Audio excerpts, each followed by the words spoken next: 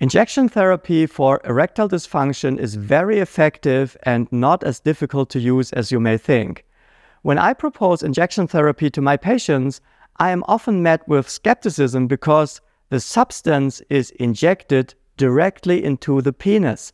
Frequently, I also get asked about its mode of action, time for an overview on what's available, and most importantly, how to use it. So stay tuned because in this video, I will give you a demonstration on how to inject the drug correctly. My name is Stefan Buntrock. I'm a board certified urologist and sexologist. If you are interested in urological and sexological topics and are looking for reliable medical information, UroChannel is the place to be. So consider subscribing to never miss out on new content. The first substance I would like to introduce is alprostadil. What is used internationally varies a bit between countries. Here in Germany, alprostadil is the standard.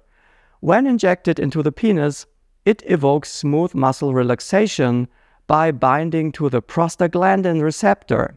This is because alprostadil is a synthetic prostaglandin. Prostaglandins are a group of tissue hormones that are involved in repair mechanisms of the body when there is tissue damage or a local infection. Prostaglandins make the body more sensitive to pain. So this is the reason that erections may be painful after injection.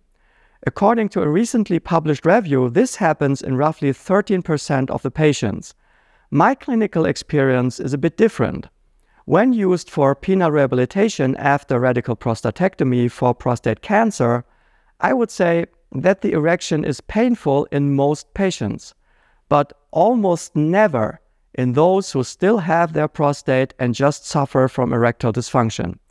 The efficacy is very high and reaches 94% with the right dose.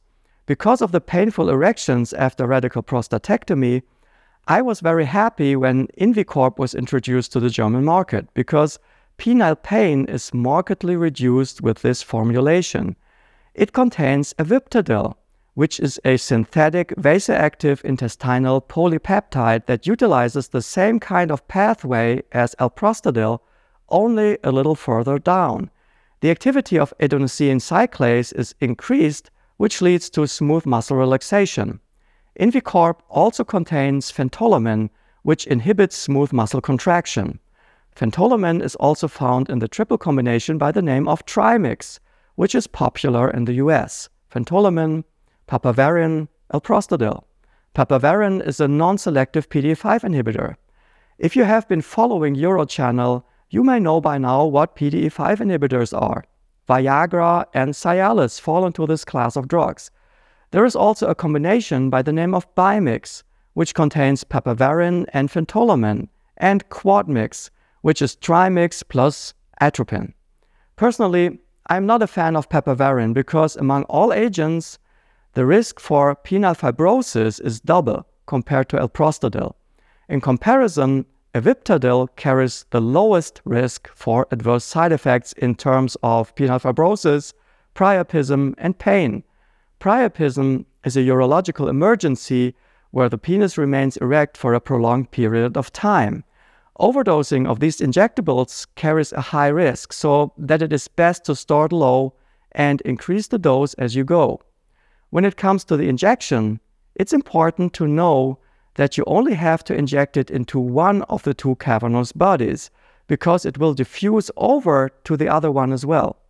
My preferred injection site is at the base of the penis, not in the middle. I think it is easier and much more comfortable to inject there. It is important to drag the penis from underneath the glans and either choose the 2 o'clock or 10 o'clock position. The injection must be vertical to ensure the right angle. Often the patients go too low and end up in the 3 or 9 o'clock positions. This carries a risk to hit the urethra and the injection won't be effective. Stay away from 12 o'clock because the main nerves and vessels of the penis are gathered here. Once you have established your target, insert the needle without hesitation. Ask your partner to do it if you are too nervous. In my office, I try to instruct the partners as well for this reason. However, this is just a video and no medical advice. If you are interested in trying injection therapy because Viagra is not working for you, you should make an appointment with your local urologist to learn how to do it. Thanks for watching.